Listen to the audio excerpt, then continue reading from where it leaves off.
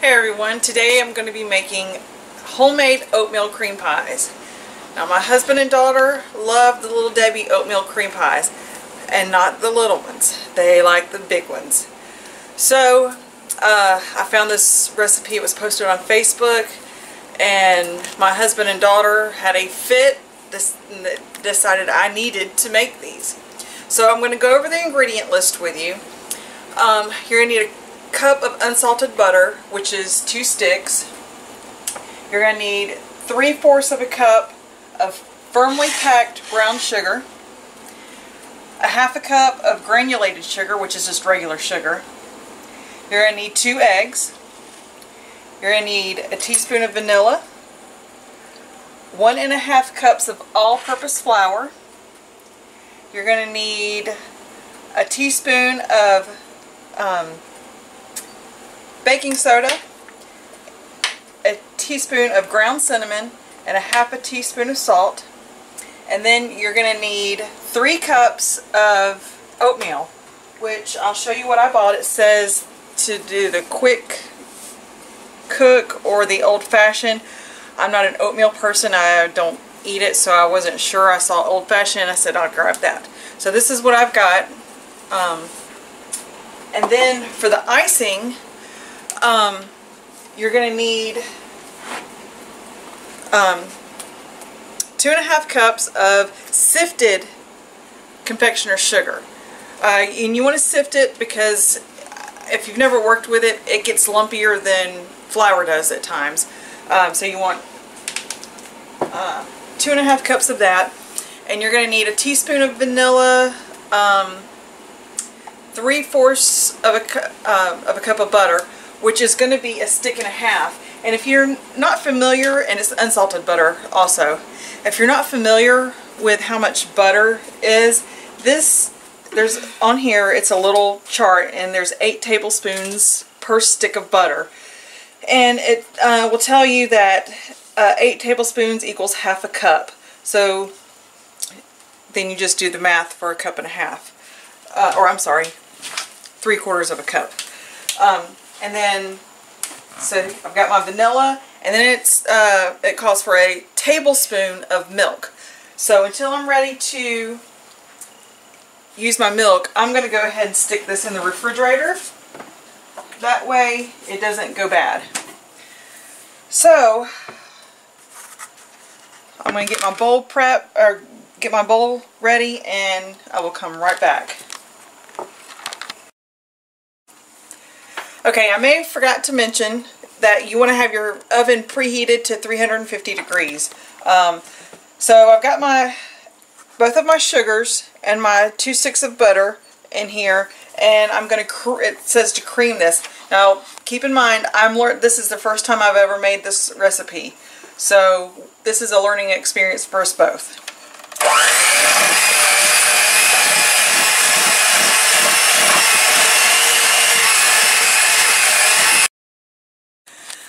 Okay, so it says to cream it um, about three minutes, and I've got, you can see, it looks kind of fluffy. And if you have a stand mixer, this would be great to make in a stand mixer. I do not, so that's why I'm using this. Now you have to add your two eggs and your vanilla.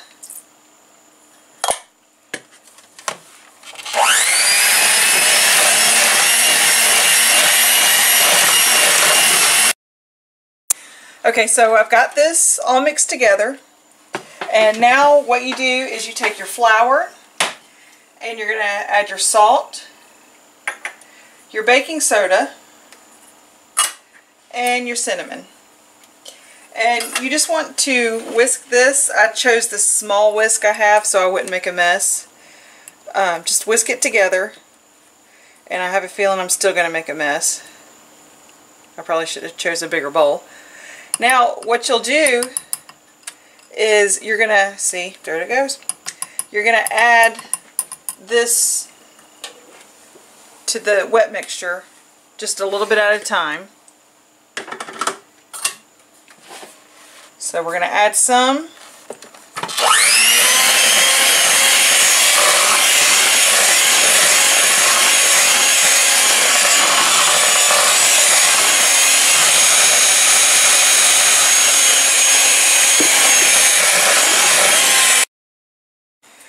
Okay, so I've got um, all my ingredients meshed together. Now we add the oats. And we want to incorporate all of the oats in with this.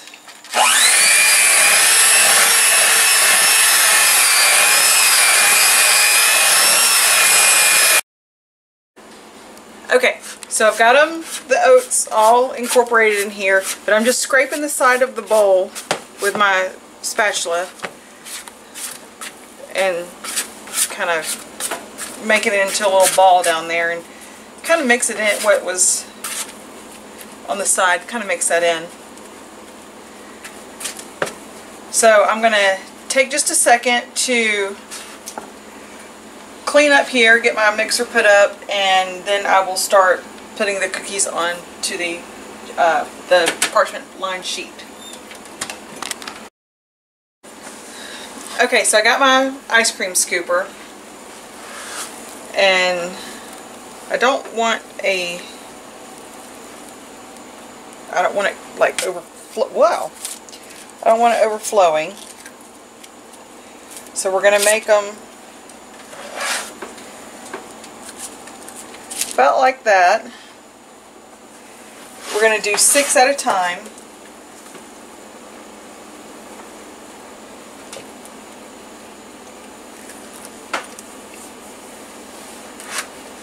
Like these are going to make the giant oatmeal cream pies.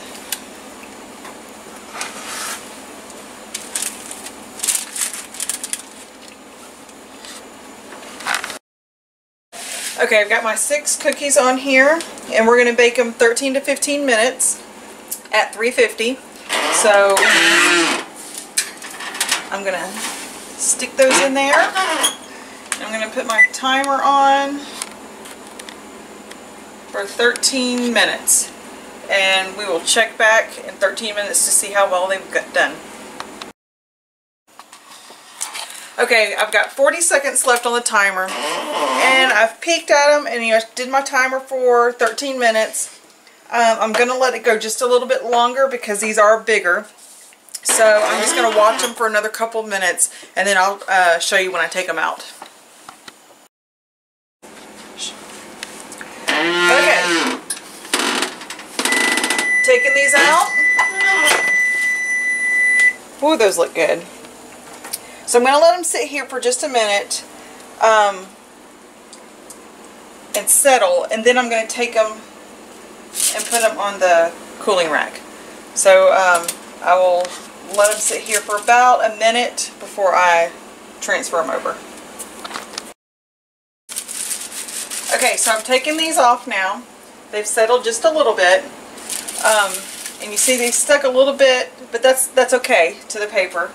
Um, I'm going to let them cool here and I'm going to get new paper and I will meet you back here momentarily. Okay, so I've got my new paper down and I'm going to go ahead and get my next batch on and we'll see how these turn out.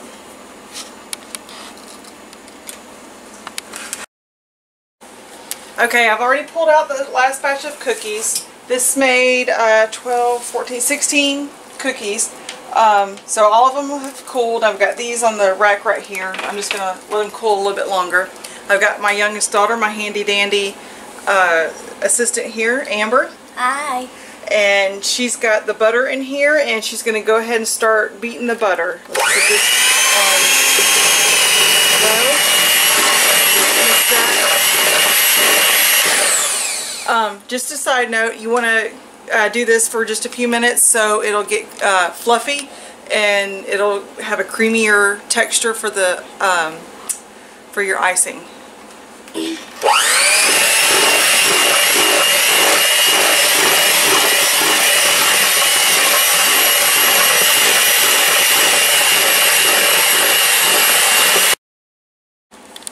Okay, she's got the butter all fluffy uh, and creamy.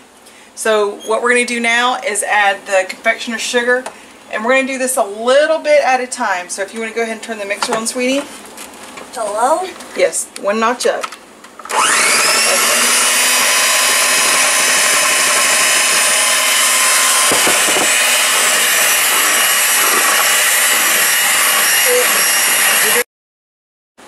Okay, so we've got the um, confectioner sugar mixed in with the butter. So now Amber's going to add the milk and the vanilla. And I went ahead and scraped down the sides of the bowl. Um, so I'm going to let her mix this in. Low? Yes.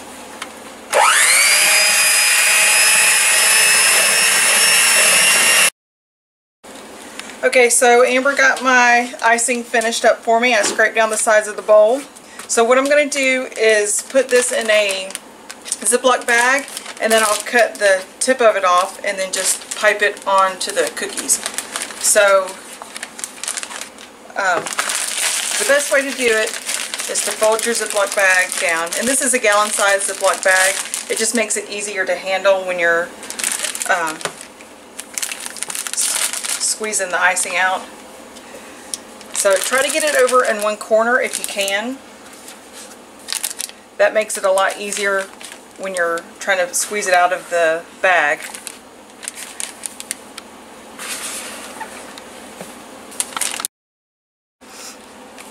Okay, I got my last plop of icing in here. So what I'll do is just hold this and scrape because you want to get as much icing in there as you can. I know everyone's going to want to lick the spoons, but you try to get what you can and get as much air out as possible. And seal the bag up. So now I'm going to work this down to one corner.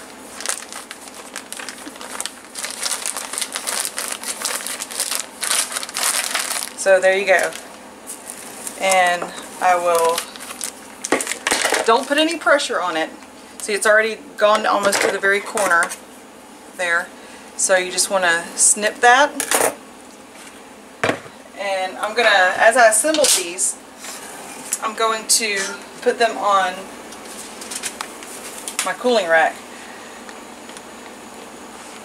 So, that there. And there's the top. So grab the next one. And you don't want to fill them all the way to the edge because once you start biting into it, it's going to squeeze out. See? So.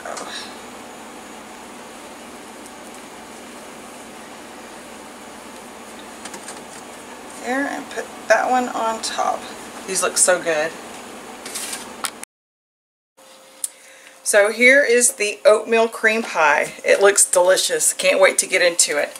Uh, I do want to say that I had um, a couple cookies that didn't kind of mash up, match up.